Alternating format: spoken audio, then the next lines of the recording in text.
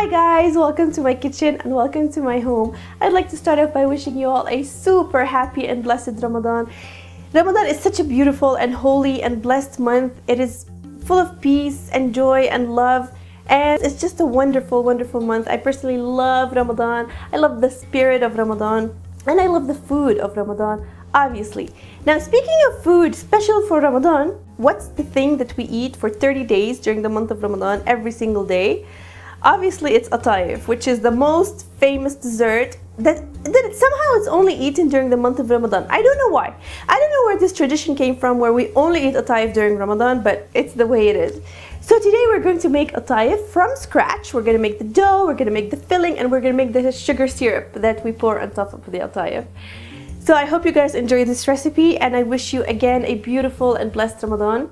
And make sure to watch until the end because I'm also going to demonstrate how to make the sugar syrup that we pour on top of the atayef. The ingredients you need to make the atayef are some all-purpose flour, some semolina, some sugar, some baking powder, some salt, some yeast, and warm water. And now to make the atayef, I'm going to start by activating the yeast. If you're using instant yeast, it's fine. Then you can, then you don't have to do the step. You can just mix all the ingredients together. Um, but because I'm using dry active yeast, I'm going to start by activating the yeast uh, with the sugar and the water. And then after it foams up, I'm going to add the rest of the ingredients. So now I'm going to add my yeast with the two tablespoons of sugar and only half half cup of warm water. The water must be warm, must be lukewarm I would say. Otherwise, if it's not, then the yeast will not activate properly. So just mix them together in a medium bowl. We're going to use the same bowl to add the rest of the ingredients later. So make sure the bowl is large enough. And now just leave it until the yeast foams up. About 5 to 10 minutes.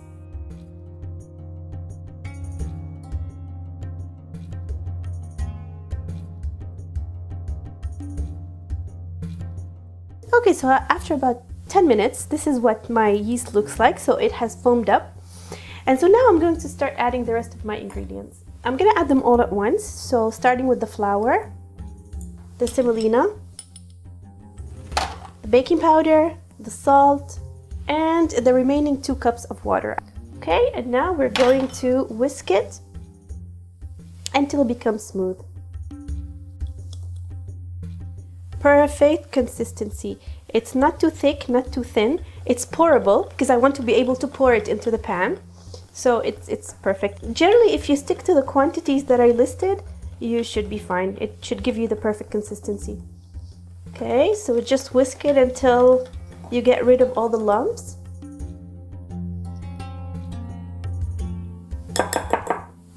And now we're going to cover it with some plastic wrap. So now we're going to let it rest for about half an hour to an hour.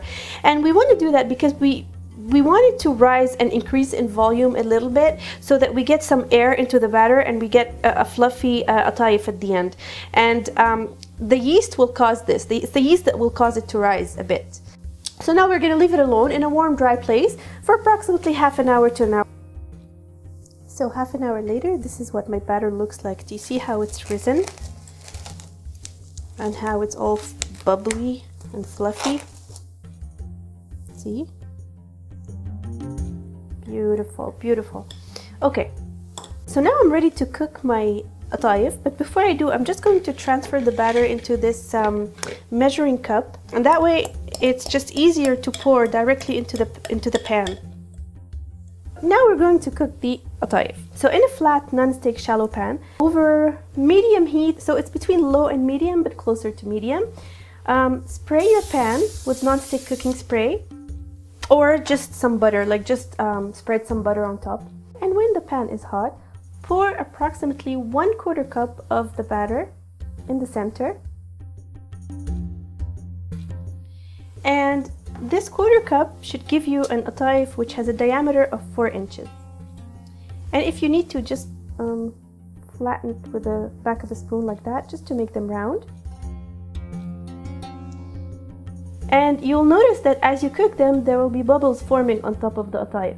You have to cook the atayef until you see the bubbles all over the top and until the batter on top of the atayef has dried off.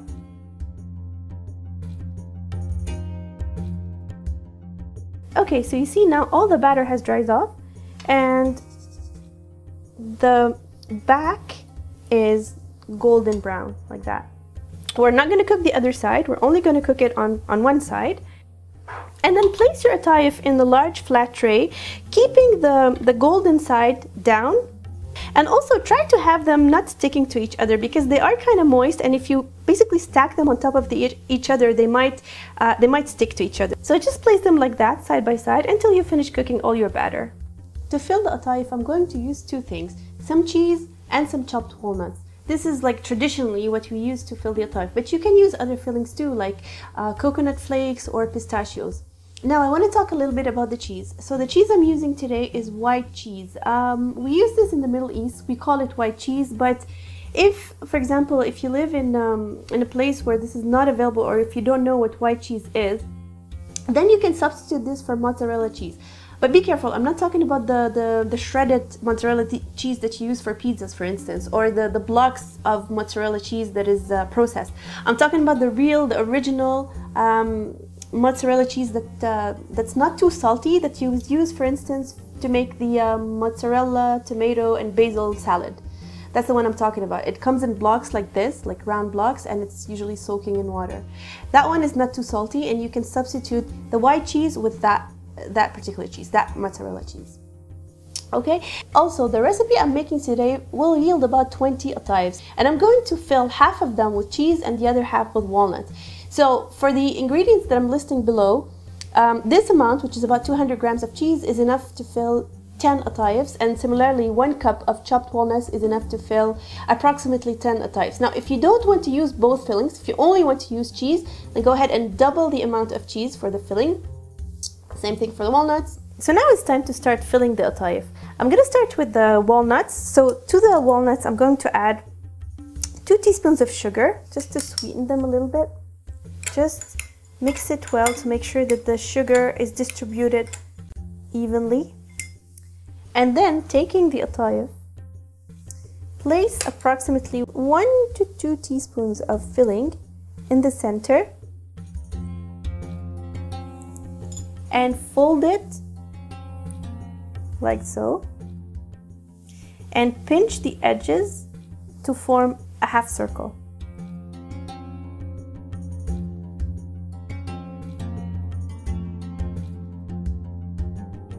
There, like that.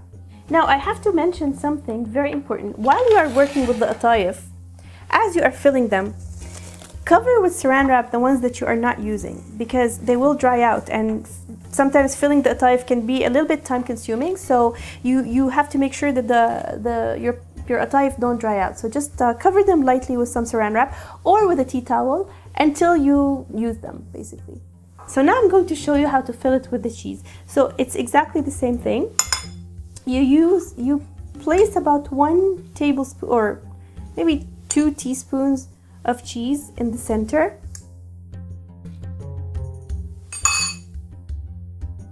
And you fold it. Pinch the edges.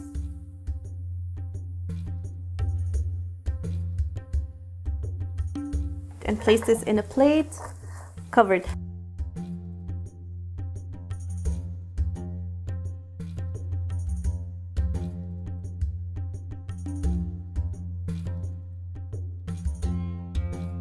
So now the second to last step is to fry your atayef. You're going to place approximately one inch deep of frying oil, um, either canola oil or corn oil, and you're going to heat the oil over medium heat for a couple of minutes. And when your oil is hot, you're going to drop your atayef and cook them for approximately two minutes on each side until they are golden and crispy. There. They're not sticking to each other, but I have filled the pan like that.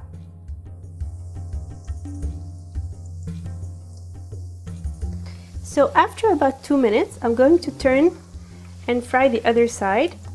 So you see they're, well, you can't probably see, but they're, they're crispy. I can tell by hitting them like that with a spoon that they're kind of hard. And that's what we want. We want them to be lightly crispy. we don't want to burn them. We just want to, you know, like have them to be crunchy. That is beautiful. And now we're gonna fry this side for two minutes and we're almost done. Okay, let me just see. Perfect, so it's, it's crispy and it's golden and it's just perfect. And that is it. I'm gonna remove them gently and place them on a plate with paper towels so that it absorbs some of the oils. and as the oil is being absorbed, get your sugar syrup out and your plates and get ready to eat. So now the last step to do before we dig in is we're going to pour some sugar syrup on them, cover them well with it, and go ahead and enjoy.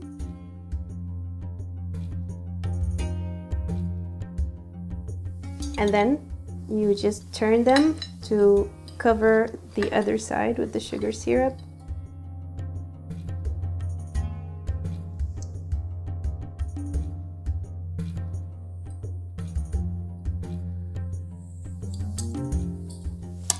Ready to eat. To make the sugar syrup you need one and a half cups of sugar with one cup of water, a teaspoon of lemon juice and a teaspoon of orange blossom water.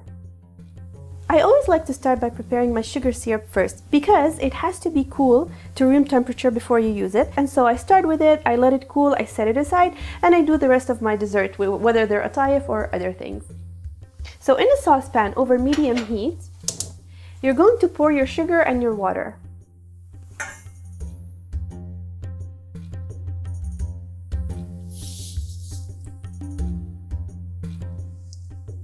and stir it until the sugar dissolves. When the mixture starts to boil, add the lemon juice and stir. And now let it boil for approximately 10 minutes until it thickens and just stir it once in a while. Starting to thicken. And by the way, it will continue thickening as it cools. So when you start doing this and it falls into like a, a slow stream, then you can stop. It took about 10 minutes of boiling.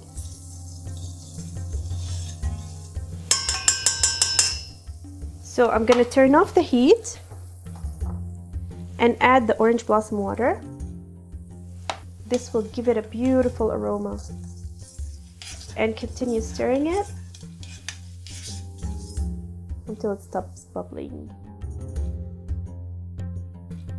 Now let it cool a little bit before you transfer it into a container. When the syrup cools down a little bit, pour it into a container.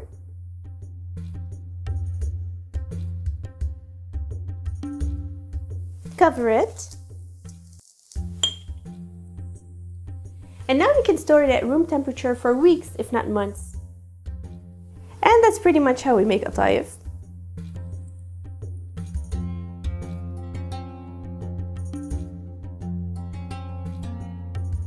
Mmm.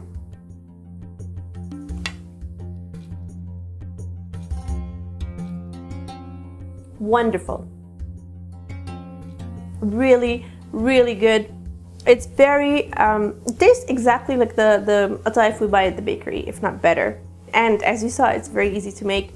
My mom used to make this all the time when we were living in Canada because we didn't have any atayef, like the dough available um, easily. So she just make it from scratch. I don't know why she stopped. It's, it's really easy to make. It's just that I guess people just started buying it from the bakeries because it's easier. But I mean, there's really nothing to it. It's just like making pancakes, except that it's um, atayef. and in case you're wondering why we never lose weight in Ramadan, even though we fast all day, is because one bite of this pretty much makes up for the whole day of fasting. so Hmm. It's worth it though. Okay guys, that's it for me. Thank you so much for watching. I really hope you enjoyed this recipe and I really hope you try making atayef from scratch for a change. I know that if you live in Jordan like I do, I mean it's it's very easy to buy and it's available pretty much everywhere in Ramadan. but um, try making it from scratch for, for a change. You'll feel so good when you're done. You know, you're like, you look at it and you say, hey, I made this. So thank you guys for watching. Please give this video a thumbs up if you liked it and subscribe to my channel if you haven't done so already.